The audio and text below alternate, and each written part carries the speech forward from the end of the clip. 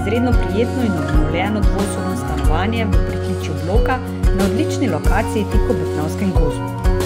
Stanovanje je klimatizirano in obrnjeno na vzhod, sestavljeno pa je iz hodnika, dnevne sobe, večje spalnice, kuhinje z jedilnico in kopalnice. Novemu lastniku ostane tudi oprema razen jedilnice, zato vse, kar potrebujete za vselitev, je le vaš kavček.